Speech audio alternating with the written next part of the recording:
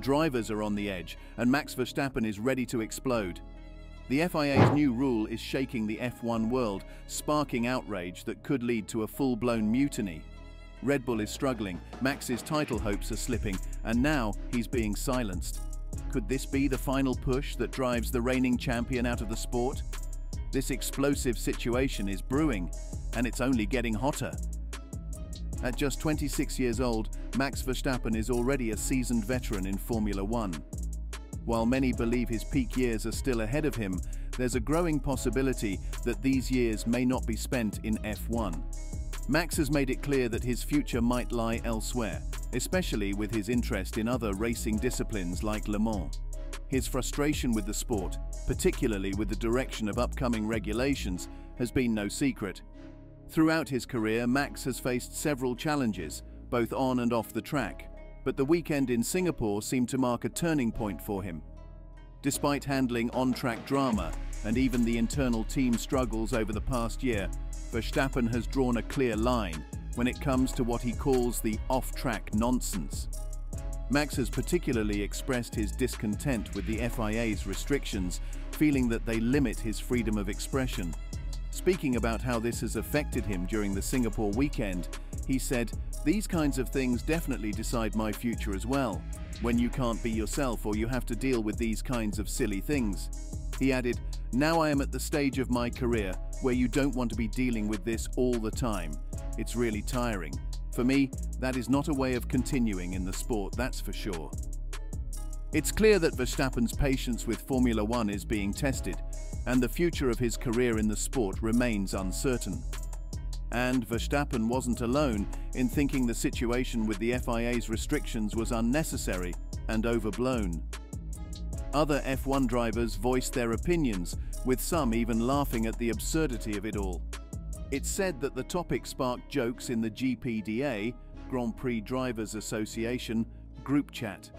A common defense drivers raise is that motorsport is one of the few sports where fans hear everything the athletes say, but this punishment was for something said during media duties. Moreover, Max has openly shared that the limitations on his freedom of expression have made him reconsider his future in Formula One. He said, if you can't really be yourself to the fullest, then it's better not to speak.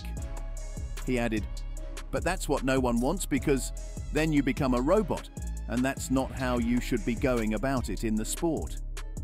He firmly believes that showing emotions is an essential part of any sport, especially racing. You should be able to show emotions in a way. That's what racing is about, any sport. He even feels deeply let down by the FIA, especially considering the voluntary work he's done for them and the small favours he has granted when asked. Despite this sense of betrayal, Verstappen isn't without support. The GPDA, which acts like a union for F1 drivers, has stepped in to back him. GPDA steps in. For those unfamiliar, the Grand Prix Drivers Association GPDA represents Formula One drivers. Its current chairman, Alex Wurz, quickly came to Verstappen's defense. Wurz stated that the punishment handed to Max was excessive and unwarranted. Though the initial conversation about Max's situation may have generated laughs, the GPDA is treating this issue very seriously, standing up for the champion and ensuring his voice is heard. Alex Wurz, the chairman of the GPDA, has shared that their strategy is to resolve problems internally, away from the public eye.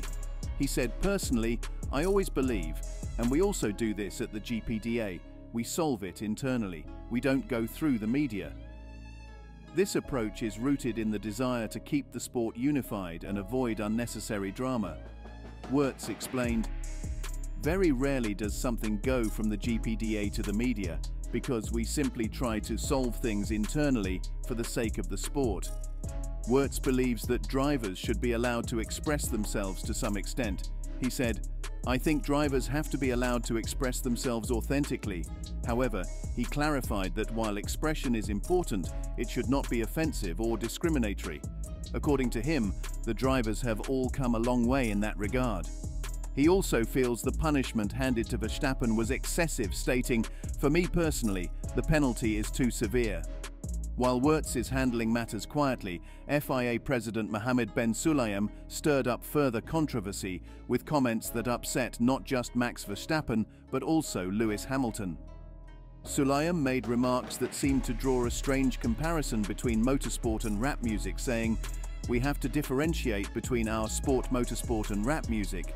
He went on to add, We're not rappers, you know. They say the F word how many times per minute. We are not on that.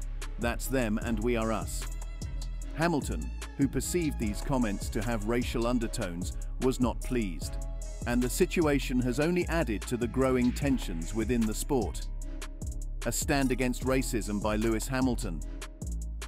Lewis Hamilton didn't hold back after FIA President Mohammed Ben Sulayem's comments comparing motorsport to rap music.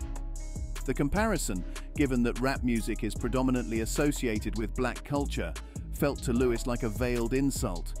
Hamilton interpreted it as a claim that civility separates them from animals, which he found incredibly distasteful and borderline racist. For a figurehead like Ben Sulayem, such words don't reflect well. As Lewis pointed out, the FIA president has seemingly made an absolute mess of things whenever he opens his mouth. Despite his differences with Max Verstappen on the track, Lewis stood in solidarity with him especially in light of the controversy surrounding FIA penalties.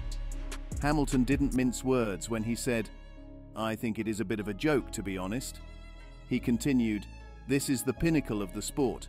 Mistakes are made. I certainly wouldn't be doing it, and I hope Max doesn't do it. Hamilton's stance wasn't just about supporting Max, it was a broader critique of how out of touch Ben Sulayem might be with the very sport he leads. Hamilton also raised an important point about the so-called gentleman driver image in F1, a term often used throughout the sport's history. But, as Hamilton pointed out, F1 drivers have rarely been the model of propriety. He cited past champions like James Hunt, Alain Prost, and even Kimi Raikkonen as examples of drivers who were anything but clean-cut. They were playboys, potty mouths, and as ungentlemanly as it gets. Today's Formula One drivers, especially after Michael Schumacher set the gold standard for professionalism, have become far more brand safe, easy on the ears, and well behaved. This shift has made them more polished, but pushing them to be even more controlled could rob the sport of its emotional appeal. F1 is about the driver's passion, their raw emotions, and taking that away would make the sport boring and less emotionally compelling. Simply put, these drivers are more than just athletes, they are the face of the sport. To FIA President Mohammed Ben Sulayem, Hamilton had a clear message. It's not all about you, Mohammed. His tendency to meddle in matters that frustrate both drivers and fans could be doing more harm than good. Hamilton's advice? Maybe it's time to stop sticking your nose where it doesn't belong. Max Verstappen has been vocal about his uncertainty regarding his long-term future in Formula One. Incidents like these only expedite the process, making it more likely that the Dutch champion will leave the sport sooner rather than later. Verstappen has dreams beyond F1, especially his desire to race and win at the prestigious Le Mans 24 Hours with his father. But could Max leave for another team before stepping out of F1 entirely?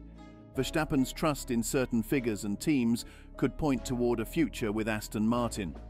With Red Bull's internal issues mounting, Max might look elsewhere. Aston Martin, with its world-class team and the limitless budget of Lawrence Stroll, seems like a strong candidate. Verstappen has already won titles with key figures like Honda, Adrian Newey and Dan Fallows, all of whom could find a home at Aston Martin. Would we see Max wearing green in the future? It ticks many boxes for the champion. Whether he stays with Red Bull or makes a switch, it's clear that Max Verstappen won't be in F1 for the long haul. The sport is changing, and so is Max's patience. So what do you think of the changing dynamics in F1 with the new rules of FIA? Comment below your views and subscribe for more such videos.